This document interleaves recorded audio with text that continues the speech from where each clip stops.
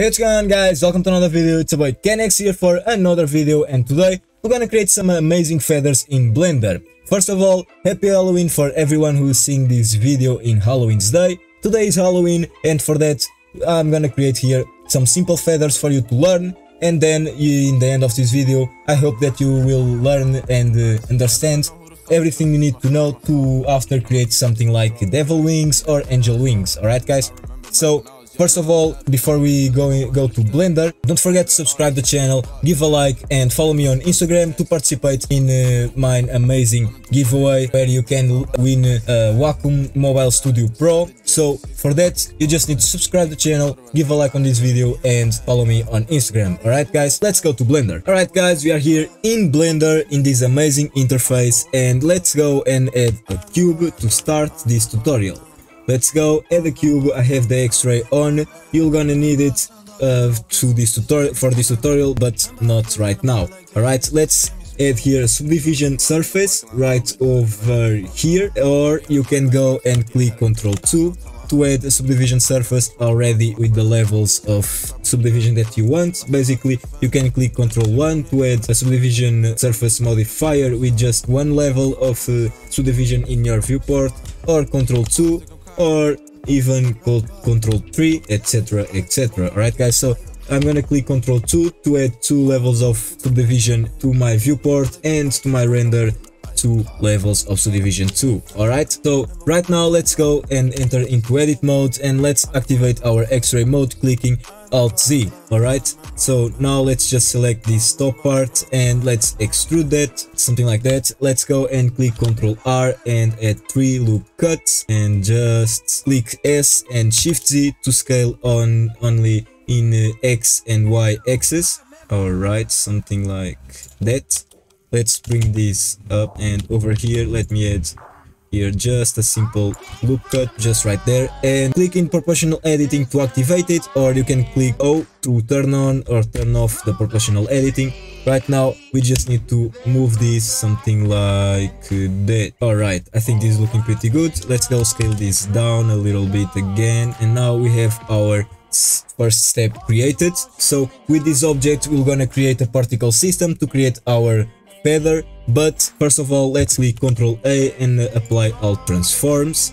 Alright and now let's add a particle system. But we need to tell to the particle system where we're gonna create the hair. So for that let's go to our edit modes. Let's select every single edge over here something like that. Alright all edges selected.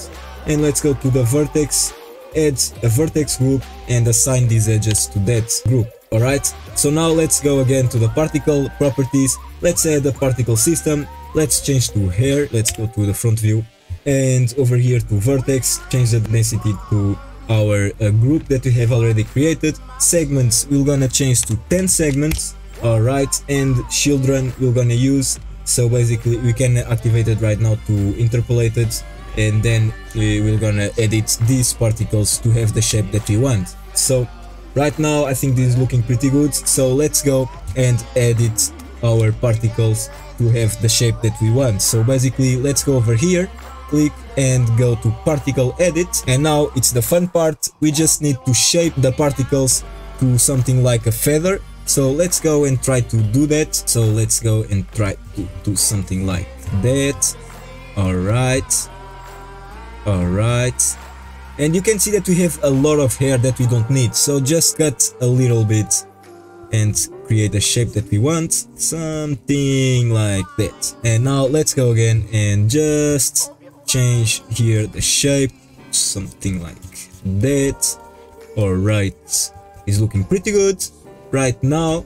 All right and now let's just cut this over here and let's cut here something like that and something like that. All right let's push this just more over here and change again the shape.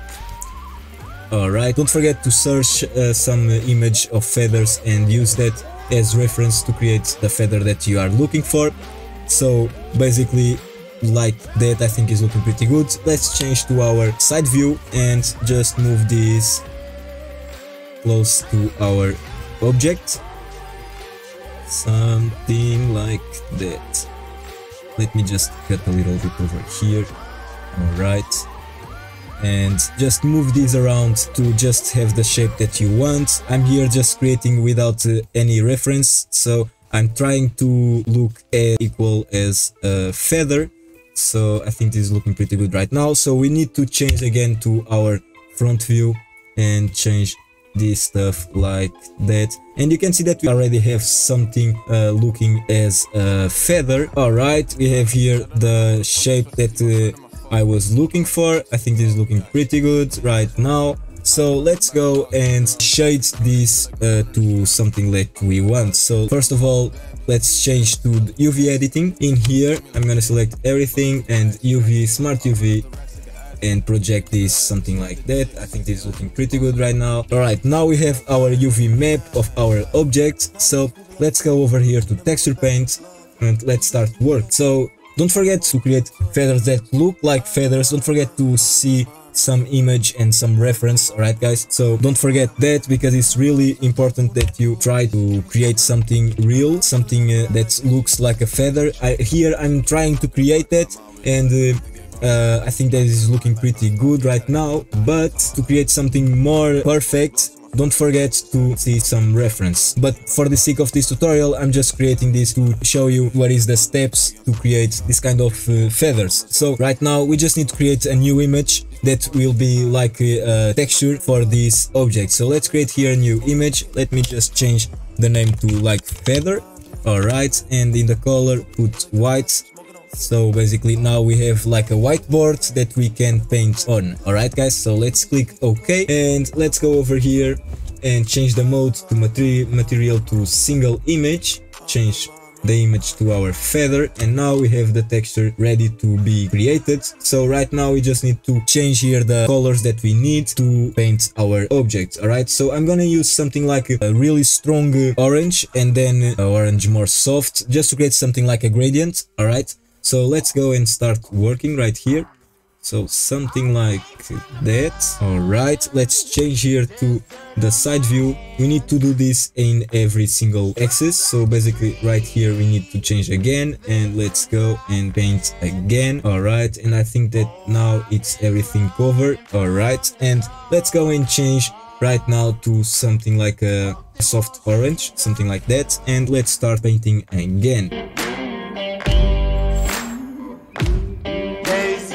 Don't forget that uh, now we have our texture created, but we need to apply this texture to our object. Alright guys, so basically for that we need to go to shading and in here let's create a new material and let's add here an image texture. We have created an image texture for this object, so let's select here our feather and now we have everything that we need for this object all right so now we just need to work a little bit with the particle system all right you can create something like uh, another particle system just for this uh, bottom part if you want something like a more fluffy feather. But i think this is looking pretty good for the sake of this tutorial. Now let's go to material properties. Let's add a new material. This material will be just for our hair so just for our particles. So let's create here a new material and change this to uh, principled hair BSDF. Now we want this particle system to have a different material of our object. So just right over here, let's change here to our second material. Let me just change the, the name to something like uh,